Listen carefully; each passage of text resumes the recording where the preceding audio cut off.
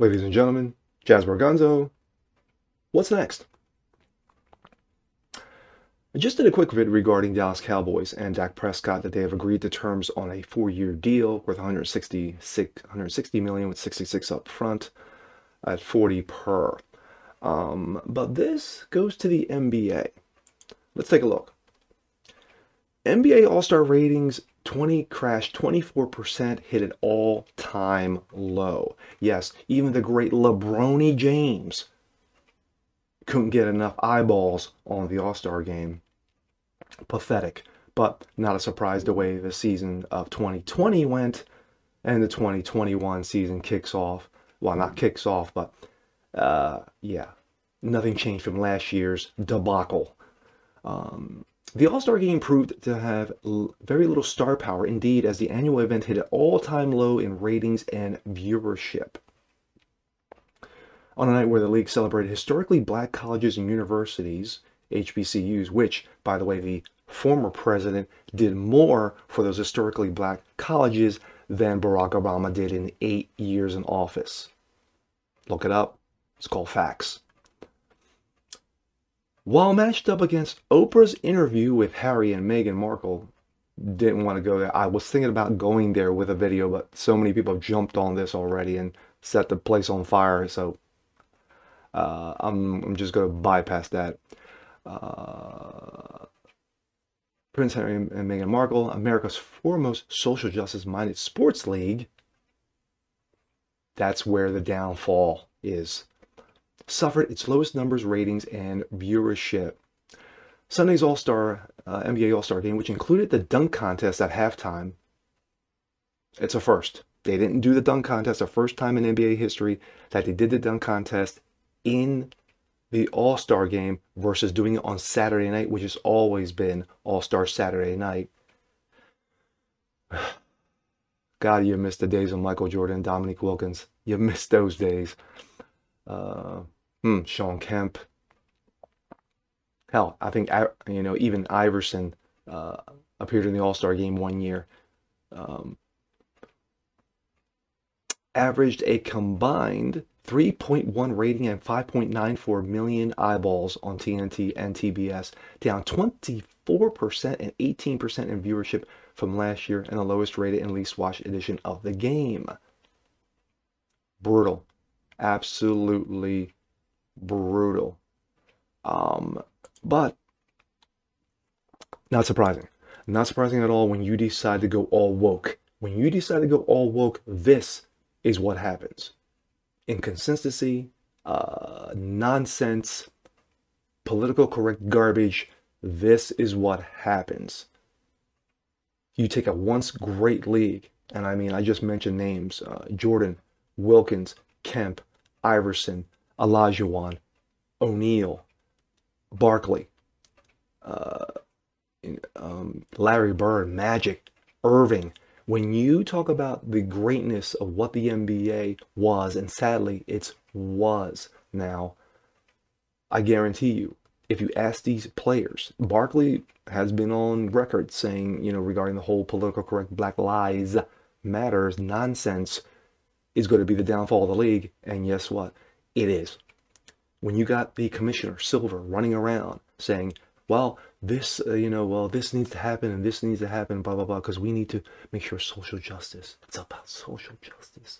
No, it's about wokeness and garbage. And this is exactly what has happened to the once great NBA All-Star Weekend. And that is sad and pathetic. And this is led by its puppet, by its court jester, LeBroni James pathetic. But we're going to change gears, uh, but we're going to stay in the same realm.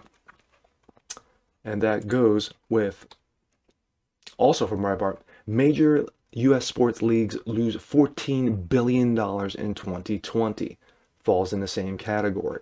Of course, LeBroni James, China's butt puppet.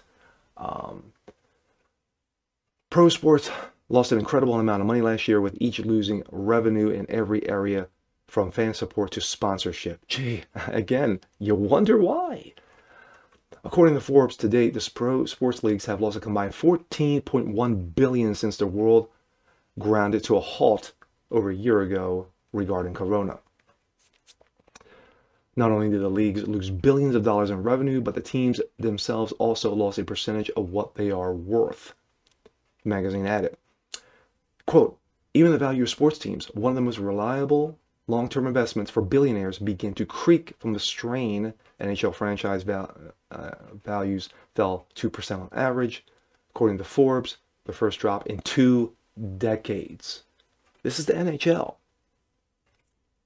No matter what you say about the other sports leagues, the NHL has always been consistent. This is the first time in over 20 years that they've lost revenue, 2% revenue. That's huge, especially in a market like the NHL, which doesn't have that, in, that has that huge sponsorship the way the NFL does and what the NBA does, um, or Major League Baseball. But uh, once again, is that uh, even the top earners lost their earned. I mean, you got boxers, Canelo, uh, Canelo Alvarez earnings are down $57 million. Good grief, man. Talk about taking a hit. Uh, baseball's Clayton Kershaw lost 3.5. Uh, NBA's Chris Paul and, and Joel Embiid lost 6.8 and 4.9 million respectively. Even golf has been affected by this, with Mickelson losing 11.6 million from from his 2019 average.